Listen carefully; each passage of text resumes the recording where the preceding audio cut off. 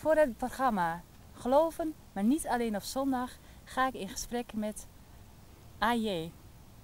HJ. HJ, maar ik ben Wezeps, hè? Dan mag dat. Oké. HJ, en hoe heet HJ voluit? Hendrik Jan Vels. Ja, Hendrik Jan Vels, jij wou meewerken aan het programma Geloven, Ja. niet alleen op zondag, maar onder voorwaarde dat we hier op een bankje op die prachtige hei in Wezep zouden zitten. Ja. Kun je in het kort even uitleggen, even voor het begin, van waarom je hier wilt zitten? Waarom hier voor de opnames? Nou, eh, ik heb een periode gehad in mijn leven dat ik, eh, ja, eh, dat ik overspannen was en burn-out had. En in die tijd kwam ik hier veel. Dus, Hoe lang is dat geleden ongeveer? dat is in 2009, 2010 geweest. Kort, ja, een jaar of vier, vijf geleden. Ja.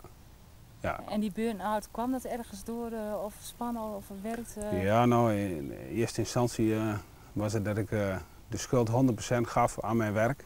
Ik werkte toen ook als voorman bij de technische diensten eh, bij Celevita. En ja, ik, eh, ik werkte heel veel. Ik eh, begon s morgens vroeger en ik ging s'avonds vaak door, s'avonds overwerken. Ik werkte zaterdags vaak, ook zondags regelmatig. En waarom deed je dat? Omdat je de boel niet goed uit handen kon geven? Ja, ook deels. deels maar ook, wist ik toen nog niet, maar ook deels de situatie ontlopen. Omdat ik gewoon met de situatie geen raad wist. Nou, dat, Mag ik vragen wat voor situatie? oh, de, ja, in principe, eh, ik had een gezinssituatie die gewoon goed was. Ik had, ik had een huis, ik had een lieve vrouw en die heb ik nog. Twee kinderen en alles voor elkaar. Ik had eh, ja, financieel ook alles op de rit. Maar ja, ik, had, eh, ik was niet gelukkig, ik was niet blij. Ik, ik had geen rust in mij. En ja, dat, dat resulteerde dus eigenlijk later tot een burn-out. eh, dat ik overspannen geraakt ben. En ja, dat is eigenlijk eh, ja, in oktober 2009 is dat geopenbaard, zeg maar. Ik, eh, ik zat zondagavond aan tafel. En ja, ik, ik kreeg steken bij mijn hart.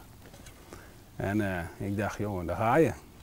Maar ja, ik begon te zweten en te doen. En mijn vrouw die zei, joh, wat is er? Voel je je niet lekker? Zei, nou, ik, niet helemaal. Ja, zegt ze, ik ook niet. Eh, volgens mij is de soep niet goed. Ja. Ja, nou, nou, volgens mij ligt het daar ook aan. Dus, nou, een mooi excuus. Ik Ja. zei, maar ik ga even op, op bed liggen. En dat heb ik gedaan en nou, daarna ging het wel weer. En vervolgens de volgende dag gewoon weer naar mijn werk toe. En eh, ja, gewoon mijn werk doen. En ik had een cursus, een hele eenvoudige cursus. Maar ik kon niks meer onthouden. En eh, ja, er, kwam niks binnen. Eh, ik denk nog eens iets beter opletten. Maar er kwam niks meer binnen, ik kon niks meer onthouden. En vervolgens, eh, ja, ik, had het met de chef over en naar huis gegaan. Volgende dag ben ik naar de dokter gegaan. Nou, heb ik eh, de bloeddruk opgemeten en alles. Nou, dat was verder van goed. En ik moest ja, wat ademhalen en zo. En ik werd helemaal naar. En vervolgens zei die dokter, je hebt last van hy- hyperventilatie. Ik zei, nou, ik kende dat hele woord niet. Ik wist niet wat het betekende. Maar goed, eh, ja, ik, ik, ik was helemaal eigenlijk ontregeld. Ja, het was gebeurd. Ja. Ja, helemaal leeg, helemaal, eh, ja. Ja. eigenlijk vol kunnen we zeggen zo. vol in mijn hoofd en Ja. leeg eh, van energie. En nou ja, ik ben de volgende dag gewoon weer naar mijn werk gegaan. Maar met een uur kon ik gewoon naar huis toe. mijn hoofd die barstte uit elkaar en het was gebeurd. Het kaarsje was leeg. En nou, ik heb bij huis gezeten in de ziektewet. Vervolgens, eh, ja, ik, thuis kon ik totaal geen rust vinden. Ik zat gewoon En je was natuurlijk zo gewend continu naar ja, je werk. werk, alles werk, werk. controle houden. En Ja. dan, dan in één keer niets. Veel werken, veel werken. En zo in één keer niks. Ik, toen de tijd burn-out deed ik ook nog heel veel. Als ik nog s'avonds niet bij mijn werk was, dan was ik tot s'avonds 11 uur eh, wel bij, eh, bij iemand aan het werk, Ja, zwart werken. ja. En ja, dat, eh, dat ging ook niet meer. Het was Ik, ik helemaal... lach nou even, want Ja. het is natuurlijk voor de camera. Maar daar heb je straks ook een mooi verhaal over. Hè? Dat weet ik, dus dat vertel je nu ook gewoon. Ja, En eh, nou, ik, eh, het was gebeurd, dus ik, ik zat thuis en ja, daar kon ik ook geen rust vinden. En toen de tijd ging ik dus hier wel eens heen. En dan, ja, bad ik wel. En dan was ik aan het bidden. Nou, hier, wat ik zie het niet meer zitten, wat een zootje is er overal. En, eh, nou, ik, ik zat er gewoon helemaal door. En, maar jij bent Ja. wel eh, al, altijd met het geloof, geloof opgevoed. ja, ik, eh, mijn ouders hebben mij eh, opgevoed. gelovig opgevoed. Ik, heb, ja, ik ben naar catechisatie gegaan, ik heb beleidnis gedaan. Ik ben opgegroeid in de Nederlands gereformeerde kerk in Wapenveld en vervolgens in, hier in Wezep.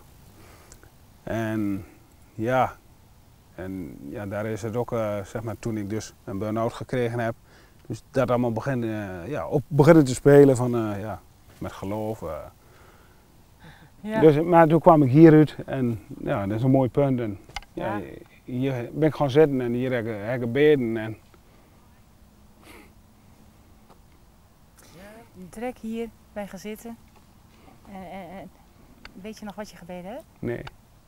Maar, ik maar je schiet wel vol. Ja. Ja, ik zei ja. Ik had ook zo. Ja, ja, ik was echt, ik was de weg kwijt. En, uh, ja, je gevoel was je de weg kwijt, want eigenlijk zoek je God direct op. Je gaat naar ja, de toe. Ja, maar dat had ik niet. Ik, ik, ik, kon thuis niet zijn. En dus ik ben gewoon, ja, dan ga je fietsen, dan ga je lopen, dan ga je van alles doen. En ik kom hier terecht en ik heb hier gebeden. Ik zei, heer, ik weet het niet meer, ik weet het niet meer. Kreeg je direct antwoord? absoluut niet. Nee. nee. nee. En ja, eh, toen die tijd, eh, toen, toen ging ik, uh, zat ik thuis veel achter de computer met de opwekkingsliederen. die, die luisterde ik en die beelden erbij en dat ontroerde mij zo. En ja, dat ik ontroerd was, dat kende ik, ik helemaal niet. mannen die huilen niet. Hè? En ja, daar ging een poosje overheen en ik denk een maand of drie. Dat ik echt, ja helemaal van slag was. En echt, ja, het wou gewoon niet. En, en het werd ook niet anders of beter of mooier. Uh. Ja, maar bad je vaker? Ik bedoel, je zit hier in je bid en dan krijg je... Ja, nee, eigenlijk niet. Ja. Maar ja, dat willen wij. Hè? We willen direct antwoord, maar zo gaat het niet. Hè? Nee, nee. Hoe, hoe lang ik weet nog, uh, er kwam een broer van mij, uh, en, mijn oudste broer, die kwam bij me met een verhaal. die had een, een, een droom gehad van, van God, een visioen. En toen hij weer weg was, toen zei ik tegen mijn vrouw, oh, mijn broer die heeft het licht ook weer gezien dus ik, ik, ik had verder, uh, ja, ik ging naar de kerk, elke zondag. Um, twee keer, soms één keer. Als ik niet ging, had, had, ik er geen fijn gevoel bij. Ging ik wel, nou dan sliep ik toch wel vaak. En zo ging ik naar, me, naar de kerk. Ja, je had geen fijn gevoel bij, maar meer omdat je, dat je eigenlijk moest van vroeger uit. Ja, of was het toch iets? Ja, misschien wel. Maar ik, ik, ik had ook wel een, een, iets in mij dat ik wel naar de kerk wou. Maar ik, ik, kon het niet pakken, ik begreep er niks van. En ja, ja, ik was moe, ik sliep. En, ja. en als de ouderlingen kwamen bij ons op huisbezoek, dan, nou, dan gaat de Bijbel los en dan gaan we een stukje over de, uit de Bijbel lezen. En nou, daar kon ik niks van vertellen en dan sloeg ik gewoon dicht. En, en als ze dan vroegen, hey, hoe gaat het met je werk? Jo, dan kon ik praten, jongen, als brugman. Ja, dan voelde je je veilig. Ja, ja, maar over het evangelie kon ik gewoon niet delen. Ik schaamde me ervoor. Ja. Terwijl dat ik met, met ja, mede-christenen samen was, kon ik er niet over delen. En zo, ja, zo stond ik eigenlijk in het leven. Tot het moment dat eigenlijk uh, ja, mijn oudste broer dus uh, weer een keer bij me kwam en die zegt, joh, in Heerde is er een dienst ehm, ja, van een, een evangelist. We kenden die helemaal niet. En ik dacht bij mezelf, joh, ik kan wel meegaan, maar dan gaan ze van zulke liedjes zingen en die vind ik mooi, hè? Ja. ja. En ik ben dus op zondagavond 31 januari 2010 meegegaan. En ik kom daar in die dienst en nou, er zit een man of 40, 50 zit daar. En die oude man die begint met zijn, uh, zijn trekorgeltje te spelen. En die begint te zingen. Ik denk, yo, hier kom ik niet voor. Dit is niet wat ik zoek. Nee, want waarom niet? Nou, ik, dat was niet zo mooi, uh, dat werd niet zo mooi gezongen. Oké, dat klonk niet zo mooi. Absoluut niet. Maar hoorde je de teksten dan wel? Of ja, maar dat, klonk nergens naar. Dat, uh, ik denk, hier, moet ik ook niet, hier kom ik niet voor. En die man die begint, uh, ja, die begint de dienst en die gaat de dienst beginnen in gebed. En die vertelt, uh, of die begint te bidden en die zegt, die bindt de macht van Satan in de naam van Jezus. En op dat moment dat hij dat bidt, krijg ik enorme hartkloppingen. En die man die zegt amen en die zegt, zijn er hier mensen die hartkloppingen hebben? Die komen maar naar voren, dan ben je met een minuut af. Ik denk, joh, uh, dat klopt niet. Wat die man hier wil of zegt, dat, dat klopt, hier klopt iets niet. En waar heeft de lucht ervoor? Ik denk, uh, ja, ik denk, dat is niet goed. Dus ik blijf gewoon zitten. Ik zat op de tweede rij, mijn broer naast mij. En die dienst die, die begint verder en uh, er komt een jongen naar voren die brengt die man een kopje water. En, en die jongen die kende ik van vroeger, zeg maar. En er was een heel verlegen jongetje. En die jongen die begint daar dingen te vertellen. Ik denk, joh, dat, dat doe je niet voor, voor waar iedereen bij zit. En ik vond het steeds vreemder worden. En Ja. ik zat daar met mijn hartkloppingen. En eh, er zit een vrouw voor mij, die draait zich om, die kijkt mij aan. Ik kende de hele mens niet. En ik zit daar maar zenuwachtig om me heen te kijken. Ik had totaal geen rust in mij. En dan gaat de poosje overheen. Die man die begint te preken over dingen wat goed en slecht is. Het was net dat ik een film voor de ogen kreeg van de dingen die ik niet goed deed in mijn leven. En als ik zondags in de kerk zat, dan keek ik om me heen. En ik denk, ik doe het helemaal nog niet zo slecht. Ik, geef wat geld aan de kerk. En ja. ik ga naar de kerk en ik bid voor het eten en zo. En zo zat ik in de kerk. ja. En vervolgens, ja, ik denk, ik doe het helemaal niet goed. En dat, dat kwam mij voor de ogen. En ik zat daar met, met mijn har- hartkloppingen. En die vrouw die draait zich weer om. En ik, ik, kijk in haar ogen. Ik, ik kan die ogen die kan ik niet beschrijven. Zo enorm, zo bijzonder. En ik hoor een stem zeggen, toe maar. En ik wist, ik moest naar voren. Maar ik wou niet. En ik zat daar in, in strijd. En ik kon gewoon niet meer blijven zitten. En op een gegeven moment eh, ja, werd er zo aan mij getrokken. Mijn voeten begonnen al te lopen, zeg maar. En ik moest nog komen. En dus ik ga onder de preek ga ik zo naar voren. En ik kom bij die man op dat podium. En die man die zegt, eh joh, wat kan ik voor je doen? Ik zeg, joh, dat weet ik niet. Ik zeg, eh, ik ben overspannen. Ik heb een burn-out. Ik heb een zoontje van acht jaar, die slaat aan zijn hoofd als hij, als hij niet luistert. Ik zeg, dat wil ik niet, maar dat gebeurt. Nou, zegt die man, dan gaan we voor je bidden. Dus ik sta daarvoor op dat podium met die man. Ja, met je hartkloppingen. Ja, Ja. en die man die gaat voor me bidden. En, eh, en nog een keer, twee keer toe. En die man die zegt op een gegeven moment, je komt niet vrij. Ik denk, ja, wat moet er dan wel gebeuren? Ik, ik wist dat ook niet. Ik, geen, hè, geen idee. En eh, toen zei die man, eh, heb je boeddha's bij huis? Ik kijk hem aan, ik zei, ja, die heb ik wel, maar daar heb ik niks mee. En ja, zegt hij, dat, dat vraag ik niet. Ik zei, ja, die heb ik wel, ja. En toen zei hij, kies je voor Jezus. En daar stond ik voor in die zaal. En ik, ik schaamde me voor het evangelie. Moest ik zeggen dat ik voor Jezus koos, daarvoor in Ja. die zaal. Terwijl dat je wist dat iedereen daar eigenlijk voor Ja, Jezus zat. dus ik zeg met mijn hoofd naar beneden. Ik zeg, ja, ik kies voor Jezus. En die man die zegt weer, kies je voor Jezus. En op dat moment gebeurde er iets in mijn hoofd van, kies je werkelijk of kies je niet? En ik kon niet anders dan zeggen, ja, ik kies voor Jezus. Vol overtuiging. Ja. En toen zei die man, joh, ga, ga maar naar huis. Ga je boeddha-beeldjes maar ophalen. We zijn hier tot vanavond 12 uur. En ik kijk mijn broer aan, die knikt van, ja, is goed. En ik ben met mijn broer naar huis gegaan en ik kom thuis en ik zeg tegen mijn vrouw, joh, ik kom met een missie. "Ho- Hoezo, zegt mijn vrouw, ben je naar voren geweest? Ik zeg, ja, hoe kom je daarbij? Ik wist helemaal niet wat er aan de hand was daar. Nou, dat, gevoel heb ik, zegt ze. Ik zeg, ja, ik ben naar voren geweest. En ik moet de boeddha-beelden ophalen. Nou, zegt ze, die heb ik net vorige week allemaal boven op zolder gezet. Ik zeg, nou, dat maakt niet uit, haal ik ze op. En het was net dat ik het huis doorgeleid werd. Boven op zolder had ik boeddha-beeldjes van de blokken die troep. Ik had eh, in de kamer had ik nog een Hindoestaans afgodsbeeldje. Wist ik niet, maar dat- dat kwam later eh, mij te horen. Ik had eh, van die Afrikaanse maskers aan de, aan de wand hangen. Ik had eh, houten giraffies en, en olifantjes. En buiten had ik een hele grote bet- betonnen boeddha. Nou, ik heb alles Wat meegenomen. trok je zo aan in die Boeddha? Nou, mij eigenlijk niks. Mijn vrouw die vond dat mooi en ja. Ja. eh, je ziet dus best veel staan overal, ja, absoluut. Ja. Ja. Maar goed, ik, ja, ik had daar verder eh, Nee. niks mee. Ni- Niks spiritueels. Nee, absoluut niet. Nee. En eh, nou, ik heb alles meegenomen in een grote boodschappentas. En ik kom weer terug in Heerde, eh, dat podium op. En die man die zegt, joh, ga je voor jezelf beginnen of zo? En zoveel van die rommel. Ja. Maar ik had totaal geen schrik, want ik zat nog met mijn hartklopping en mijn onrust. En ja, die man die zegt, nou we gaan bekijken wat je hebt. En die bekijkt die hele tas vol. En dan zegt, nou ja, een boeddha, dat is een afgod. En de Bijbel is daar duidelijk over. En daar moeten we ons verre van houden. Ja. En die maskers, zegt hij, die zijn eh veelal occult belast. Ik zeg, joh, ik heb van dat hele woord nog nooit gehoord. En zegt, nou, occult belast, dat betekent dat, er- dat er eh, ja, boze geesten of vloeken op uitgesproken worden. Zeg, joh, dat weet ik niet. Nee, zeg, maar dat is het punt vaak. Dat zijn we in onze kerken helemaal kwijtgeraakt, die geestelijke wereld. En eh, Nou, hij, hij heeft alles bekeken. Hij zegt 80% wat jij bij je hebt nu is gewoon niet goed. Hij zegt, wat doe je ermee?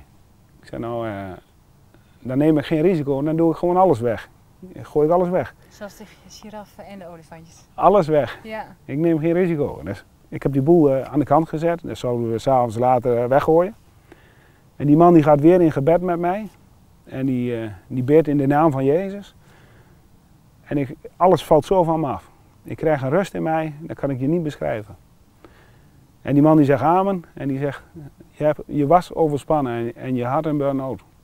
Ik dacht bij mezelf, nou dat is mooi. Was en had. Ja. Maar nog niet willen geloven. Maar wel een enorme rust kreeg ik op dat moment.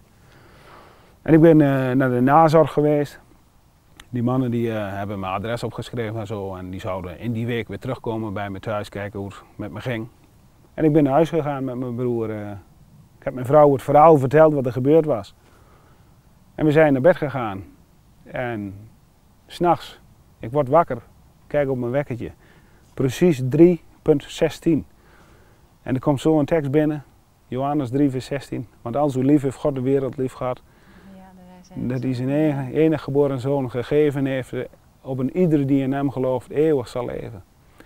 En ik kende de, de hele tekst niet, maar die kwam zo binnen. Ja. En vervolgens eh, liet God me veel meer dingen zien. Ik kreeg eh, Lucas 10, vers 2 kwam binnen. De oogst is groot, maar arbeiders zijn er weinig. God liet me zien dat ik een tientje gestolen had van mijn moeder toen ik acht jaar oud was. kwam zo voor. God liet ook zien dat ik weer op mijn werk moest zijn. Ik dacht eerst van ik moet weer keihard werken. Maar gaandeweg heb ik ja, mogen leren dat God mij wil gebruiken om het evangelie op het werk te brengen. Om mensen ervan te vertellen.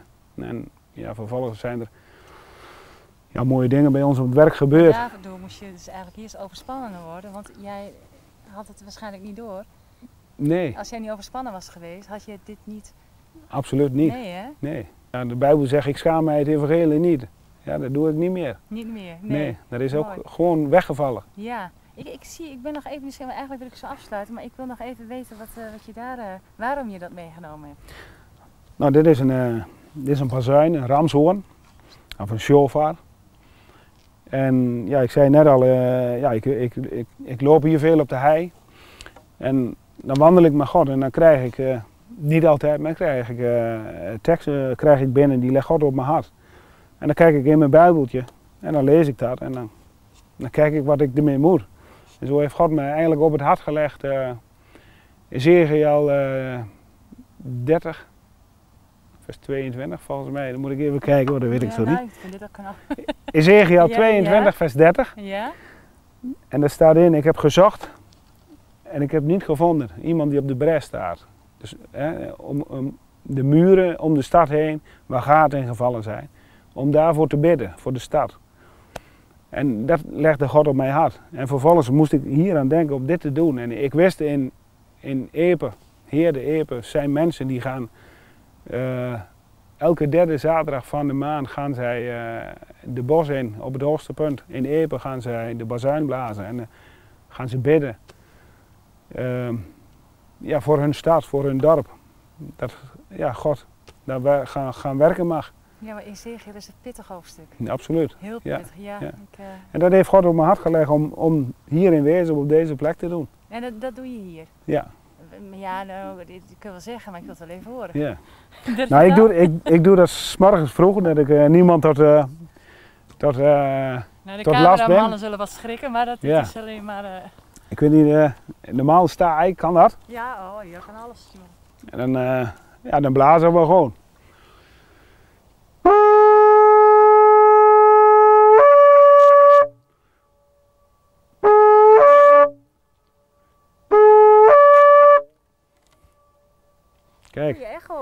Ja, mooi is dat hier, hè? Ja, is echt... En vooral eh, 's morgens vroeg, als hij hier staat, dan, eh, ja, dat klinkt mooi. Ja, dan voel je... Maar dit gaat ook eh, de hemelse gewesten in en daar gaat het om. Wat zou je de kijkers nog mee willen geven? Je, je had het net over dat jij God voelt in je hart. Dat God dingen zegt, ook in je hart. Hoe kun je dat nog wat meegeven aan de kijkers die twijfelen, die niet goed weten waar ze het zoeken moeten? Hoe ze God kunnen voelen? Wat wil ik meegeven? Ja, zoek Jezus. En laat hem binnen in je hart. Dat is wat ik mee wil geven. En hoe, kan, hoe kunnen de mensen Jezus zoeken? Gewoon de deur open doen. Als er geklopt wordt. Absoluut. En Jezus klopt. Ja, Ja, lijkt me een hele mooie afsluiter. absoluut. Bedankt voor dit hele mooie gesprek. Ja, En eh, ik zou zeggen, ga zo door. ja dankjewel.